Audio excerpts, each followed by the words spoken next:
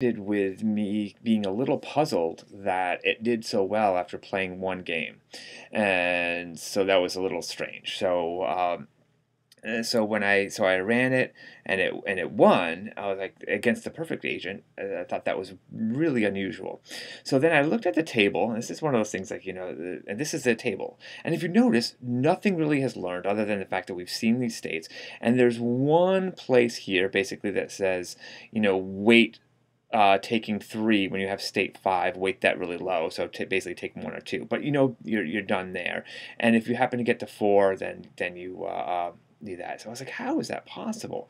Well, it turns out that if you start with 20 uh, sticks, if you keep taking three, you get down to four and then all you need to do is just learn one little bit and then you can have a perfect game so it turns out that the you know when, when it was choosing the wrote top choice. It was always choosing three, and it just happened that that uh, we started an initial state such that that was the optimum strategy. So it really didn't need to learn very much. Um, that's not great. So and this is and this you know can can happen if it doesn't really see a, a wide variety of states. So let's go back up to the initial states for for for uh, for uh, NIM, and instead of starting with 20 we're going to start with some random number between, say, 15 and 25.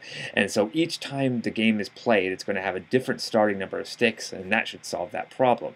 Notice, even at best, that a perfect agent should perfect versus perfect uh, going first here should should win about 75% of the time and lose 25% of the time because there's one out of every four numbers is a bad one to start on. So so just so so we're not going to look for perfect uh, um, so, so we do this, we run it again, and uh, yes, now we're losing. So that's so so so, that's good, and uh, and I could look at the table if I really wanted to. So in this case, so I'm gonna I'm gonna get get get rid of this. Now let's uh, play a few more games, um, uh, and so we're gonna play a few a few games. I'm gonna change the number of games to be like a thousand.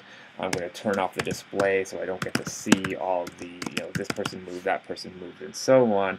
Um, and uh, also at the at the end, I'm going to um, just like with with them, I'm going to remember the uh, um, Q agent dot Q table um, and save it in the Q data data table.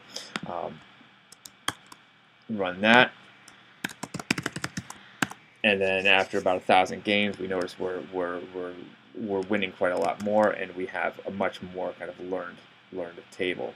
Uh, I'll, I'll, run it one more thousand games, and and and uh, and we, we have that. Now, I would have expected us to be doing better here, but we also have to realize that that 10% of the moves, because the epsilon is 0.1, are random, which we only really want when we're learning. So, so we've learned a, a, a little bit. So, so, uh, um, uh, so before learning, let's do this.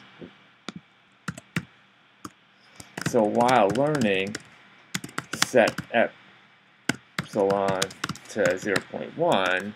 So I'll do that q agent dot epsilon is equal to 0.1. Um, and that's what we've been doing.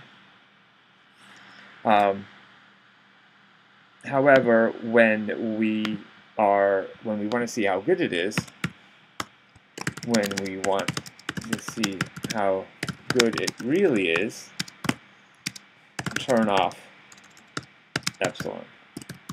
So no random moves. Okay, and so we're gonna was this here, and we're to turn off turn off epsilon and then see how it does.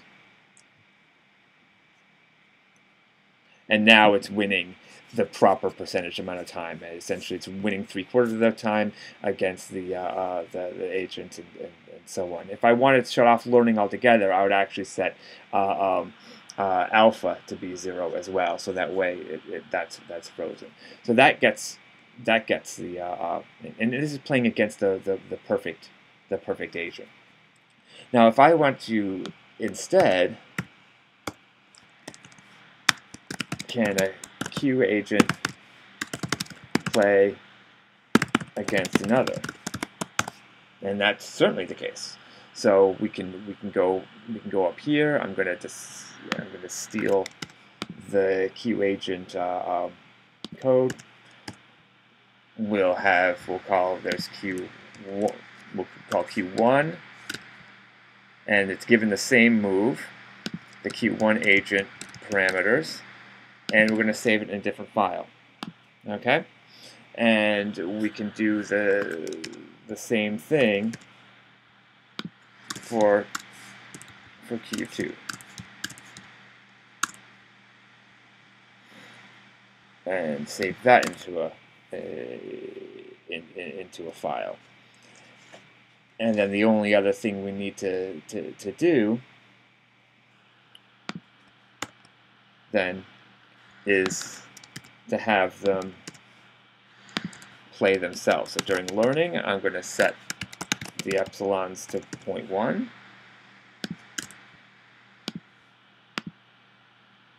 I'm going to go back and remember these uh, Q1 data, Q2 data, and Q1 agent versus Q2 agent.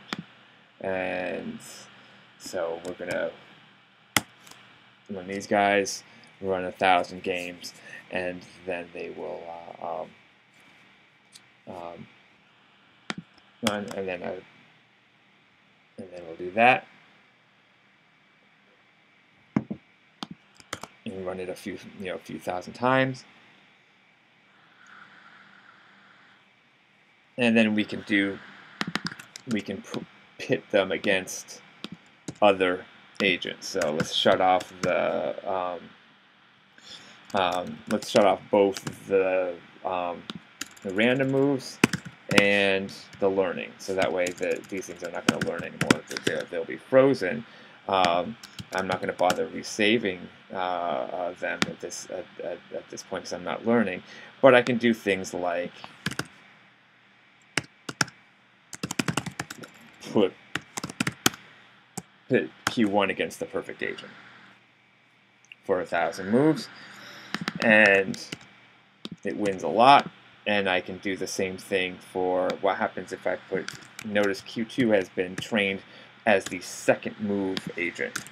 Um, and so I'll do that. It's going to lose a lot more, but it will win, uh, um, you know, 20% of the time, uh, which is pretty much, you know, right on right on frame. If, if, if we, you know, for instance, compare this to a random agent, um, you know, notice that the random agent moves a, a, a, lot more. So we can so we can do that, and we can look at the individual tables.